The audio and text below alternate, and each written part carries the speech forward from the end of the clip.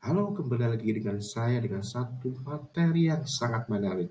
Manajemen konflik dalam instansi atau perusahaan. Perlukah kita ulas dengan materi yang tidak diajarkan di kuliah mana pun? Tonton video ini sampai selesai dan hal-hal yang menarik di dalamnya.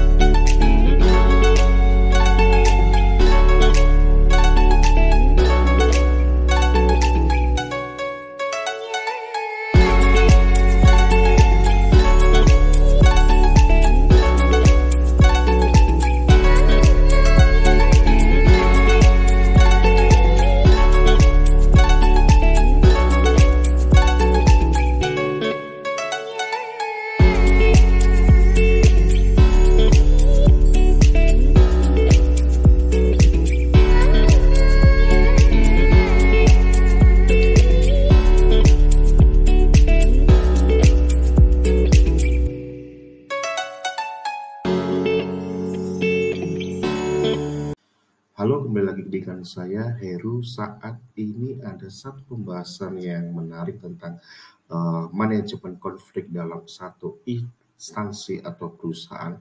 Uh, perlukah atau seperti apa kita akan ulas ya.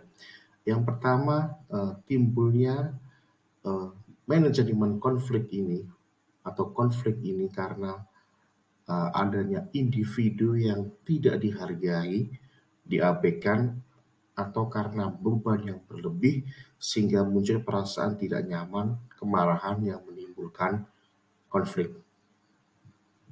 Yang kedua, menurut uh, Weber, konflik adalah pilihan selaras atau tidak selaras, pilihan yang benar atau tidak benar, pilihan sesuai dengan pilihan A atau dengan pilihan B.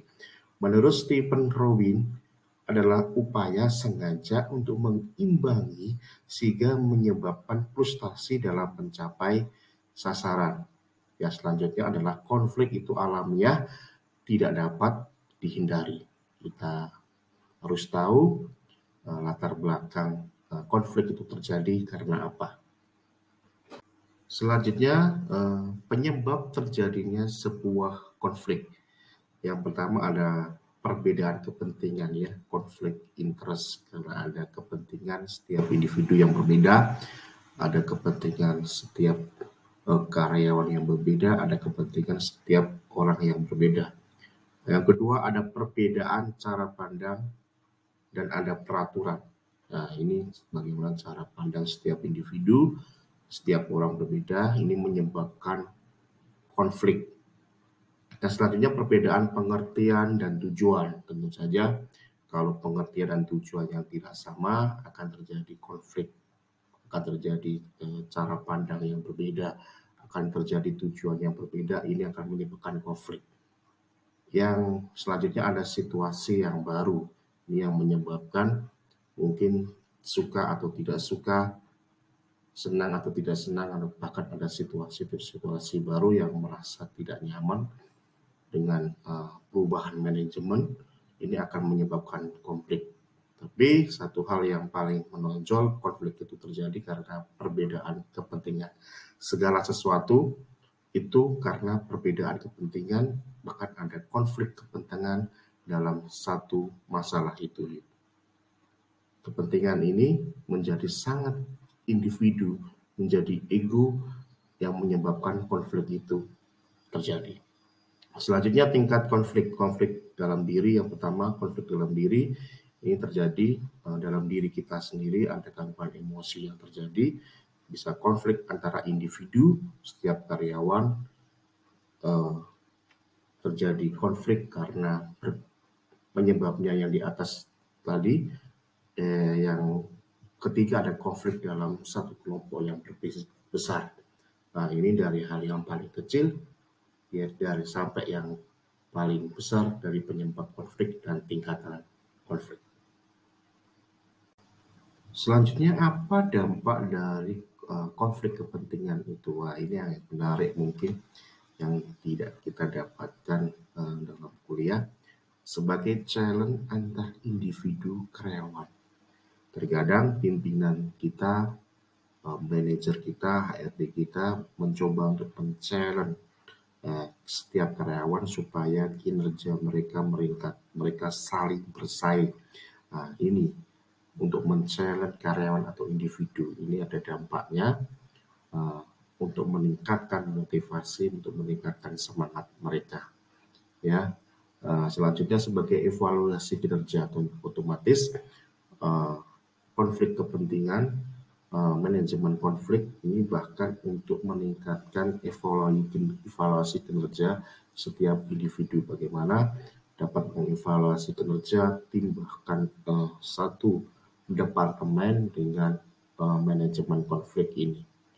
Ya, selanjutnya untuk membantu mencapai tujuan. Tentu saja jika tidak ada evaluasi, tidak ada motivasi, tidak ada challenge, maka tujuan dari goal dari uh, perusahaan, goal dari pimpinan, goal dari manajemen itu tidak akan uh, tercapai. Ini ada satu hal lagi yang menarik bahwa uh, konflik kepentingan ini, manajemen konflik ini sering kali dipakai ini yang tidak diajarkan di kuliah mungkin dipakai LSM untuk menekan satu instansi atau perusahaan sering kali uh, mereka memakai manajemen konflik untuk uh, membantu tujuan mereka tercapai dipakai partai politik untuk uh, men-challenge untuk memberikan motivasi kerja untuk uh, mencapai tujuannya bahkan uh, dipakai uh, satu departemen instansi untuk mencapai tujuan mereka. Bahkan manajemen konflik ini sebenarnya bagus supaya uh, meningkatkan KPI key performa indikator mereka semakin meningkat jadi ini uh, bisa berdampak positif bagi uh, tujuan goal dari sebuah instansi bahkan perusahaan. Ini semoga bermanfaat bagi kita semua. Uh, konflik akan menjadi hal yang positif uh, jika diolah dengan baik. Terima kasih, semoga ini bermanfaat bagi kita semua.